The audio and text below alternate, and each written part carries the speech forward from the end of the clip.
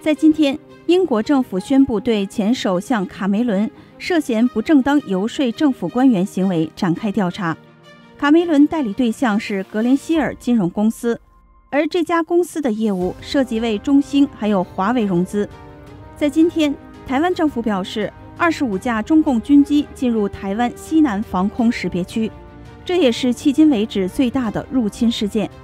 美国国防部发报告说。美军售台四百枚标枪飞弹以及四十二套系统，将会在二零二二年一次全数运交台湾。拜登呢将会在今天与两党议员开始讨论两点三万亿基础设施提案，而这个法案还包括改变区划法，让全美成为多元化社区。路透社认为，这是从自由市场到政府管控的一大转变。拜登的临时金融监管机构。正在用速战速决的法律手段逆转川普对华尔街金融业友好宽松的政策，这为华尔街大佬们敲响了警钟。在阿里巴巴集团接到中共一百八十二亿天价罚单之后，今天蚂蚁集团再次被中共四个金融监管部门约谈。观众朋友您好，欢迎您关注希望之声 TV，我是小兰，今天是四月十二号。台海局势再次升级，在今天，台湾政府表示，包括战斗机还有核轰炸机在内的二十五架中共军机，在今天进入了台湾西南防空识别区，这也是迄今为止最大的入侵事件。台湾国防部今天在官网即时军事动态专区发布了中共军机动态，一共二十五架中共军机扰台，分别为两架运八反潜机，一架空警五百预警机。四架歼十，十四架歼十六，四架轰六 K，其中四架轰六 K 轰炸机可以携带核武器。台湾国防部派遣了空中巡逻兵力来应对，广播驱离，防空导弹追歼。昨天，美国国务卿布林肯表示，美国对中共对台湾的侵略行动表示关注。他同时也警告说，任何人试图通过武力改变西太平洋现状，将是一个严重错误。美国国防部最新的预算解冻报告中指出，美国军售台湾四百枚标枪飞弹以及四十二套系统，将会在二零二二年一次全数运交台湾，到时候可以有效地强化台湾的作战力。这款飞弹有效射程最高可达两千五百公尺，最大射程为四千七百五十公尺，其摧毁力强，有着“战车杀手”之称。另外，去年川普政府对台军售武器当中，其中还包括十一套海马斯高机动火箭炮系统，这都引发了世界的关注。有评论文章直呼这款武器说白了就是为反登陆作战。在昨天海军新闻文章中表示，如果洛克希德马丁公司的新型精准打击导弹射程能达到四百八十多公里，将意味着美国海军陆战队的海马斯火箭炮系统。可以从海上的舰艇发射导弹，不需要用登陆舰艇气垫船、登陆小艇或者是轻型两栖战斗舰进行抢滩登陆。据美国在线杂志《防务突破》报道，陆军呢爆出了一个机密数字：洛克希德公司的这款新型精准打击导弹，据说呢射程超过五百公里，足以从舰艇上直接发射。美国媒体布莱巴特新闻网在昨天报道说，拜登两点三万亿美元的基础设施法案的重点是解决全国各地基础设施老化的问题。但这份庞大的法案还涵盖了大量的其他开支，其中一项呢就是多元化社区资金。在拜登的计划当中，多元化社区是通过改变区划法来实现的。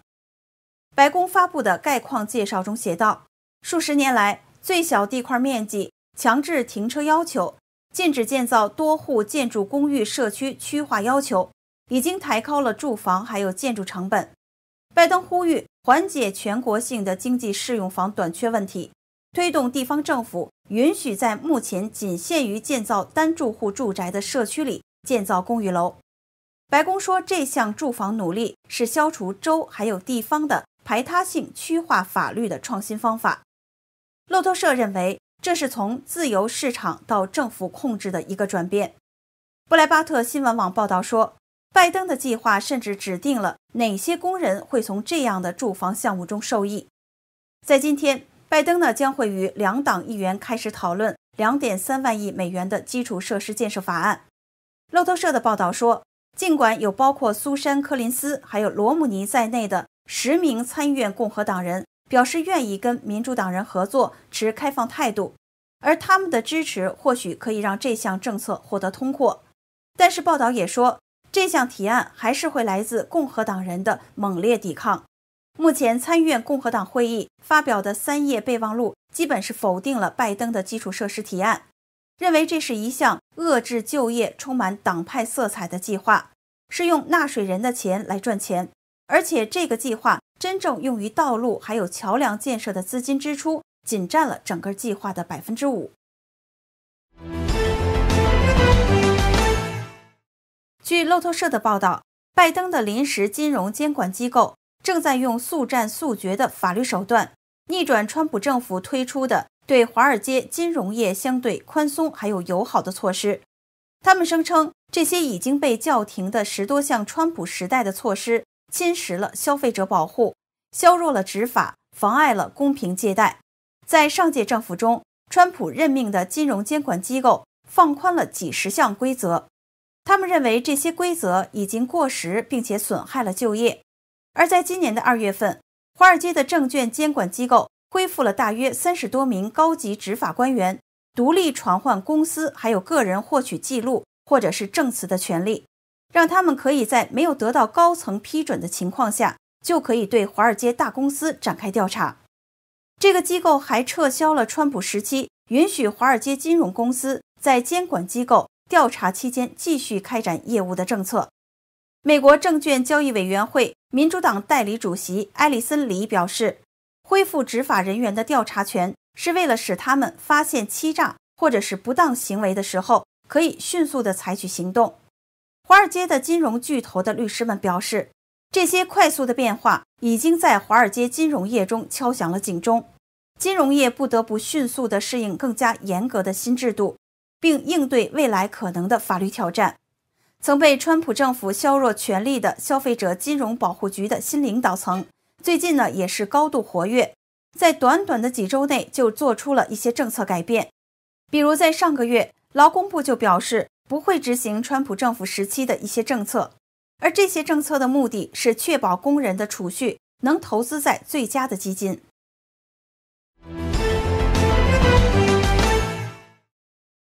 在今天，英国政府宣布对前首相卡梅伦涉嫌不正当游说政府官员行为展开调查。卡梅伦代理对象是格林希尔金融公司，这个公司的业务涉及为中兴还有华为融资。英国政府表示，这个案件呢将会由英国内阁办公室的律师伯德曼协调。卡梅伦自称没有违反任何游说规则，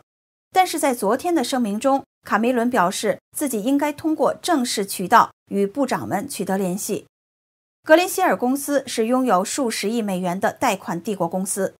这家公司在2011年成立，通过供应链融资的业务使业务飞速的发展。这个公司在今年的三月份倒闭。英国首相约翰逊发言人说，这次调查将会聚焦格林希尔的供应链融资业务。这项独立调查还将调查申请人如何获得合同，以及其业务代表如何与政府接触。发言人补充说，这个事件呢引起极大的关注，因此首相约翰逊。呼吁进行审查，确保政府对此类活动完全透明。根据《金融时报》的报道，在格林希尔宣布破产前的数个月，卡梅伦就游说英国政府，希望格林希尔公司能得到英国政府为了应对疫情而发放的企业贷款。但英国央行明确拒绝了将格林希尔列入疫情的救助对象。另外呢，卡梅伦还给英国财相苏纳克和其他财政部的高级官员发了短信，希望让格林希尔公司参与政府的疫情企业融资机构的计划。卡梅伦是在卸任首相两年以后开始担任格林希尔的顾问的。按照当前英国法律，高级公务员离任以后两年内不能进行相关的游说，所以卡梅伦说自己没有违反任何规则。但英国另外一位首相布朗表示。前任首相绝对不能由于商业目的对政府进行游说，这简直就是在侮辱公共服务。卡梅伦就任首相期间，曾大力倡导加强中英贸易合作，极力促进所谓的中英黄金时代。他在2015年接待习近平的时候，把习近平带去自家附近的酒吧喝酒、吃炸鱼。卡梅伦卸任一年以后，他领导了涉及中英合作的英国政府投资计划。他负责一项价值十亿美元的资金，用于投资与中共“一带一路”的相关项目，签署了大批的投资协议。但是后来很多项目都被发现是虎头蛇尾。目前，英国跟中共由于香港问题、新疆问题、华为、五 G 等等问题关系紧张，中共也在反制英国，所以卡梅伦被调查事件也尤为的引人关注。